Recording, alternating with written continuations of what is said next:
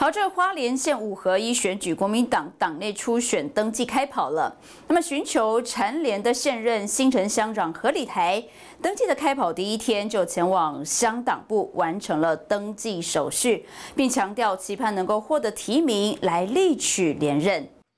现任乡长何立台在上午十点完成国民党党内登记手续之后，特别感谢各界乡亲以及支持疼惜。他感谢的表示。花莲县五合一选举，国民党党内初选登记开跑，寻求蝉联的现任新城乡长何立台首日，并且前往乡党部完成登记手续，拔得头筹。他除了感谢乡亲的疼惜之外，并且强调期盼能够获得提名，力争连任，继续为地方服务奉献，完成各项乡镇建设以及乡亲的福祉。非常谢谢新人乡的乡亲一路来的栽培。啊，跟鞭策李台啊，在三年多前啊，用选票啊，把李台送进新人乡公所啊，继续来主政。在这三年当中啊，多以来啊，可以说不敢忘记乡亲对我的栽培以及啊这样的支持。这三年多来，我们在中央也好，在县也好，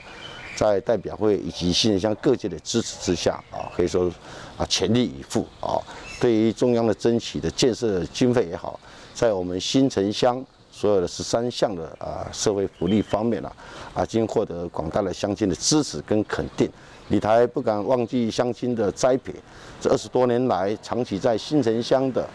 啊这个乡亲的呃关照之下啊，都以民意为依归，啊，都以民意为依归。今天呢，为什么特别又来？我想这。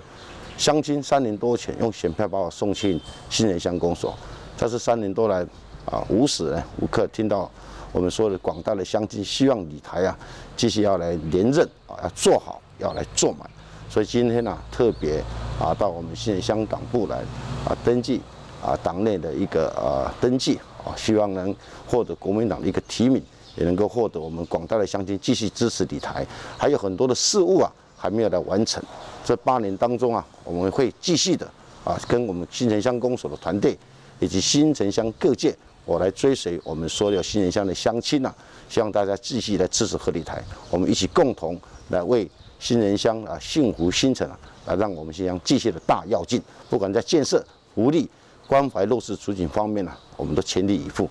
要拜托各位新城乡乡亲继续支持合理台。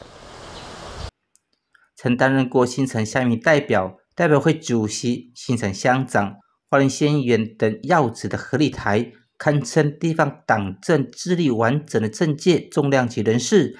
三年多前，以些微的差距胜出当选乡长，任内卯足全力为地方争取建设经费，更着重于乡亲儿童福利，获得基层超高的评价。一般预料，拼连任的应该可以顺利过关。记得九新闻不到。